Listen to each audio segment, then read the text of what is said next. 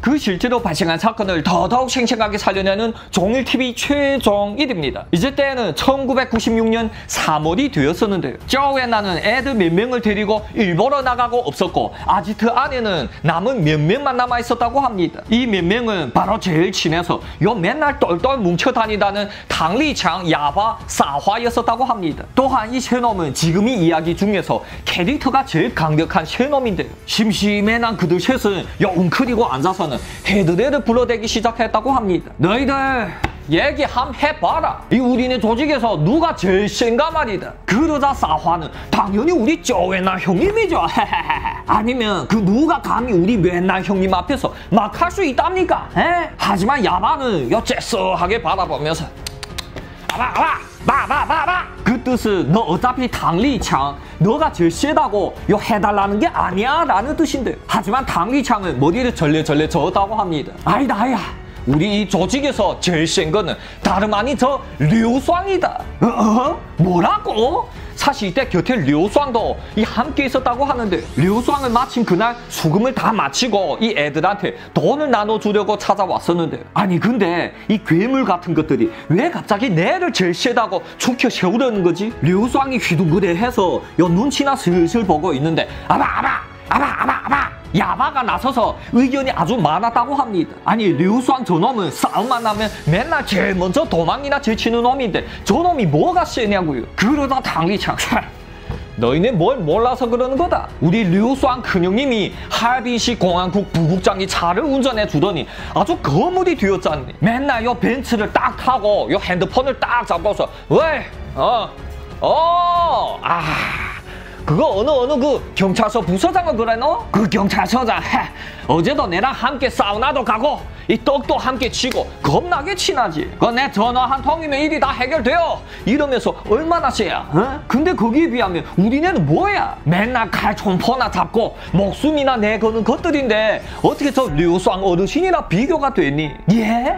이거는 지금 대놓고 류쌍 앞에서 비아냥거리는 게 아니겠습니까 다 당리창 형님의 그 그만하십시오. 무슨 일이 있으면 단도직입적으로 얘기하시면 되는 거죠. 그 혹시 제가 한턱 거하게 쏘면 되는 겁니까? 아하 그제야 당리창의 얼굴색이 환해지면서 그덕그덕이는데. 그래 역시다 역시. 봤냐 이러한 눈치가 있어야 이 경찰국 부국장님을 모실 수 있는 거야. 그래 그래 그래. 류쌍아 오늘 어디로 안배할 건데? 그러자 우리 아니면 그 찌셔의 형수님이 가게나 가볼까요? 뭐?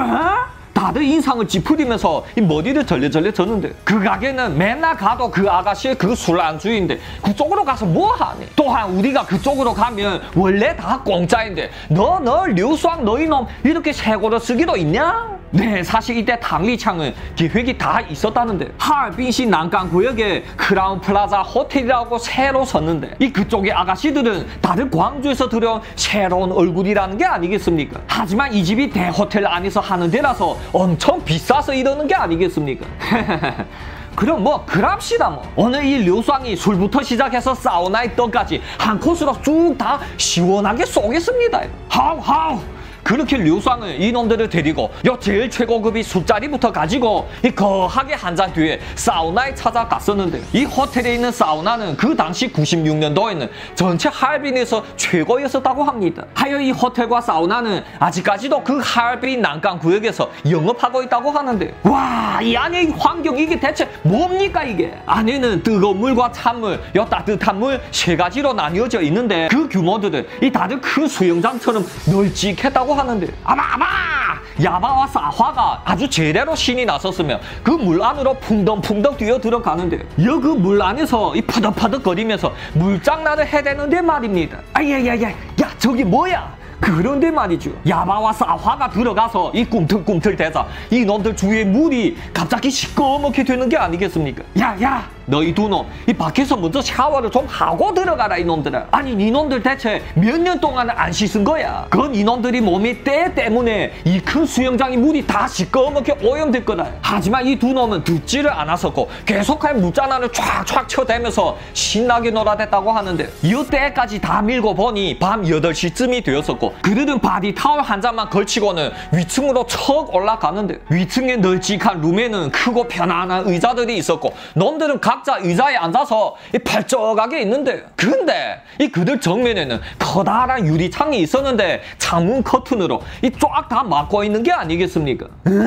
저쪽에 뭔가 다른 룸이 있는 것 같은데 이 창문 커튼이 싹 다 가리워서는 안 보이는 거였었는데 이 류쌍은 자 여러 형님들 이제 그 머리빵들이 즐비한 그 창녀촌으로 가지 말고 에? 너겠으면 이러한 데 와서 넣으세요 봐요 얼마나 좋습니까 야들아 진행시켜라 류쌍이 얘기가 끝나자 그들 정면을 막고 있었던 커튼이 쫙 열리는데 그런데 말입니다. 커튼 저쪽에는 거의 100여 명이나 되는 아가씨가 대기하고 있는 게 아니겠습니까? 커튼이 열리자 다들 서로 자신이 은밀한 부위들을 보여주면서 서로 뽑히겠다고 애를 빡빡 쓰고 있는데 와 그러자 말입니다. 당리창 싸화 야바 이 셰촌놈은 입을 떡하니 벌리고는 아무 말도 못하는데.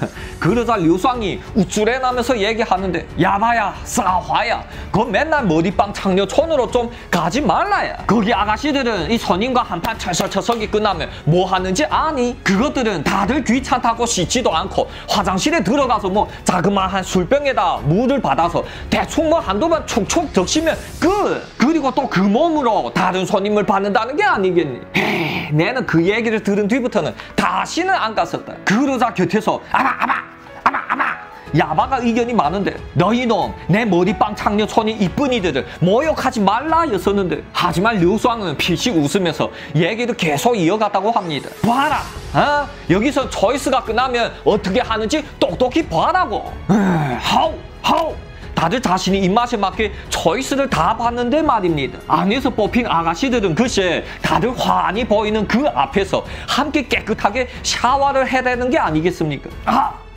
아!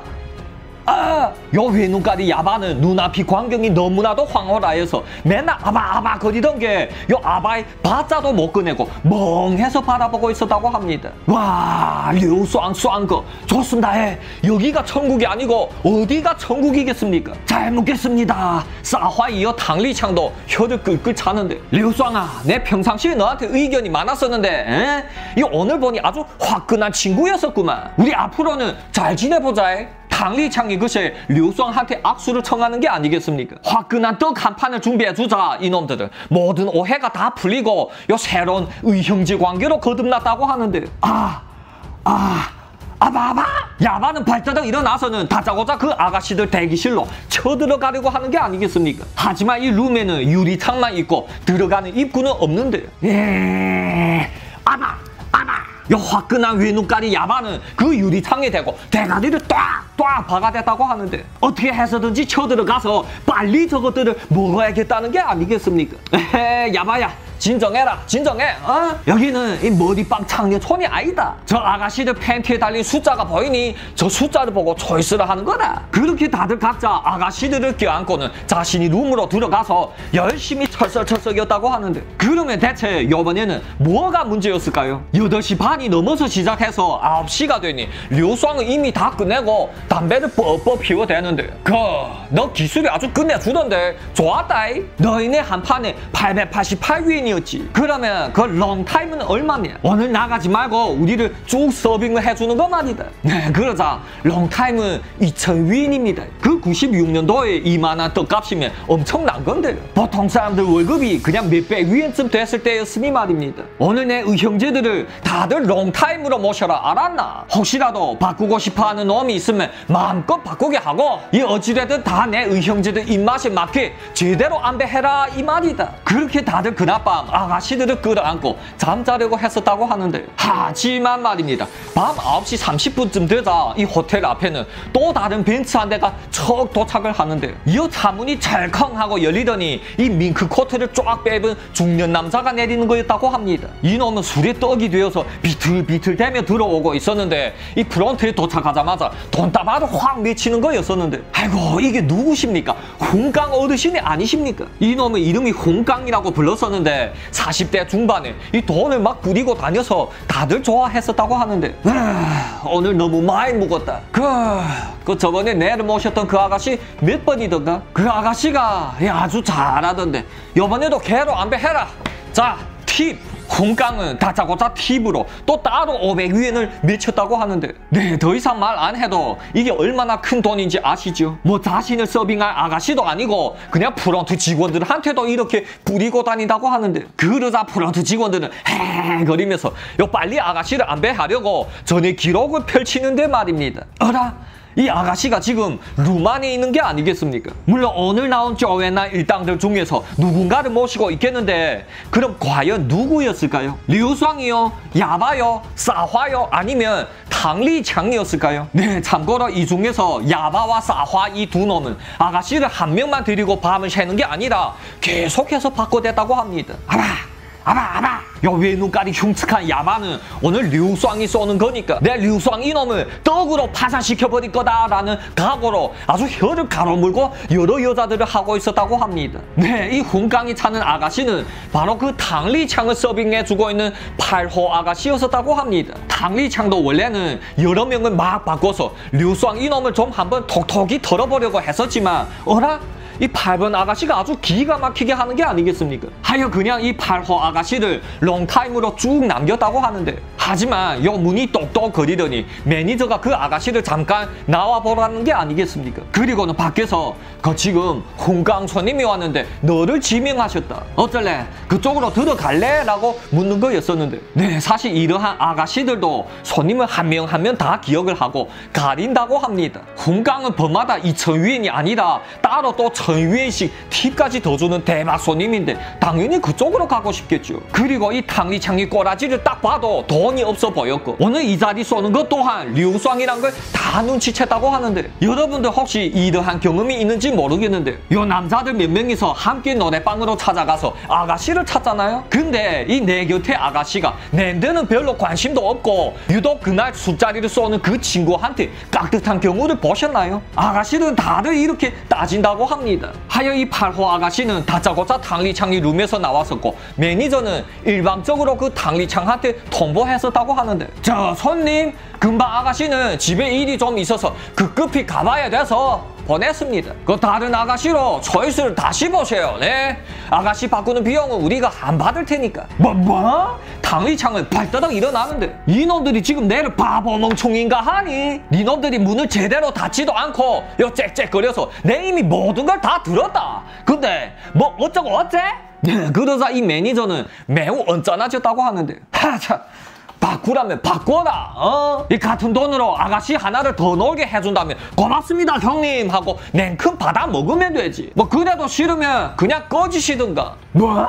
네, 그러면 이 아가씨 매니저는 왜 손님과 이렇게도 쌩냐 할까요? 요 한 마리 개도 자신이 주인을 보고 나댄다고 이놈도 자신이 사장이 그만큼 되니 하느냐 하는 거였었는데 하지만 당리창이 누굽니까? 다짜고짜기 곁에 유리로 된 담배 재떨이를 확 던져버렸다고 하는데 하지만 매니저는 못 맞추고 이 곁에 있던 TV를 쨍그랑 하고 박살냈다고 하는데 허추 이놈 봐라 여기가 어딘 줄 알고 어? 너 돈이 많니 이놈아? 이 매니저는 겁도 없는 젊은 피인지라 그 당리창한테도 성큼성큼 걸어가면서 무전기에다 대고 소리 지르는데 보안팀! 보안팀 어디 있니? 여기 8호 아가씨 룸으로 오라! 네 하지만 이 당리창이 더 기회를 주겠습니까? 다짜고짜 달려들어서 그 매니저를 냈다 때려 눕혀 제압하고는 놈이 팔을 뒤에서 꽉 잡는데. 하 이놈아 이거 사람 보는 눈이 아주 엉망이네 이거. 어이 내가 누군지 좀 물어보고 까불었어야지. 그렇게 막 갈렸어야 쓰나? 너 이빨 꽉 악물어라 당리창은 자신이 군도를 확 빼들고는 놈이 아킬레스건을 잘라버리려고 하다가 그나마 불쌍해서 이 대퇴에다 콱 찌르고는 쫙 찢어버렸다고 합니다 으아! 이렇게 되면은 휠체어 신세는 아니겠지만 그래도 평생 동안 쩔뚝쩔뚝 거리며 사는 신세는 면치 못하겠는데 이 당기창이 자신이 군도를 쑥 뽑아서 놈이 옷에다가 쭉쭉 닦아대고 있는데 문이 발칵 열리면서 네 명이 건달 놈들이 들어오는 게 아니겠습니까? 매, 매니저님? 이 네 놈은 땅바닥에 누워있는 매니저를 보고 심히 당황해하면서 다른 비수를 뽑아서 꽉 거머쥐는데 어 칼들을 뽑았다? 함 해보시겠다? 당리창 역시 자신이 위통을 확 벗어버리고 자신이 군도를 꽉 잡고 전투 자세에 들어가는데 그러자 말입니다. 그, 그 당리창의 위통에는 총알에 맞은 자국에 뭐 칼에 찔린 자국들까지 가득 남아있는 게 아니겠습니까? 이제 그 이야기에서도 나왔다시피 이 당리창은 산탄총에도 맞았었고 이 칼에도 찔렸었고 어디 한 군데 성한데가 있었겠습니까? 이러한 실전에서 남은 상처 자국들은 그 몸에 청룡백호를 문신한 문신 돼지들보다 이 백배는 더 무섭다고 합니다. 너희네 같은 뽀송뽀송한 피레미들도 뭐 다 건달에 속하니? 와라! 내가 진짜 건달 자국들을 남겨주마! 예? 건달 자국을 남긴다고요? 이거 뭐 헛소리죠? 여, 으아! 당위창이 군도를 움켜잡고 쿵쾅 쿵쾅 쿡쿡 하며 칼춤을 한바탕 쳐대더니 이 네놈은 모두 다 찔려 눕혀졌다고 하는데 제가 전에 이야기에서 이 당리창이 워낙에 칼잡이 출신이고 한가닥 한다고 했었죠. 바로 오늘이 요번 전투에서 알 수 있는데요. 그렇게 루만에는 다섯 명이 쓰러져서 아프다고 신음하고 있었고 이 놈들 한가운데는 당리창이 씩씩거리면서 서 있는데 자 그 밖에 어나야, 어? 어나 더 있니? 어디 다 들어와 봐라고 해라 이것들아! 당리창 이놈이 온몸에는 땅바닥에 쓰러져 있는 놈들이 피로 이 흥건하게 젖어 있었는데 딱 봐도 감히 범접할 수 없는 분위기인데요. 그러면 이 큰 대호텔의 유흥가에 뒤를 봐주는 깡패가 고작 요네 명이겠습니까? 네, 그럴 리가요. 저쪽에서는 대뜸 거의 스무 명이나 되는 놈들이 우르르 몰려오는 거였다고 합니다. 그 제일 앞에서 대가리를 서는 놈은 단단한 덩치에 위통에는 백호가 쫙 문신되어 있는 놈이었었는데 또한 이 놈들은 다들 오른손에 큰 칼들을 꽉 잡고 기세등등하게 걸어오는데 딱 봐도 보통 놈들이 아니었다고 합니다. 당리창이 아무리 한가닥 한다지만 이 스무 명과는 상대가 될까요? 다음 회에 계속하겠습니다. 재밌게 시청하셨으면 구독과 좋아요 쾅쾅 박아주시고요. 다음 회에 또 짜지!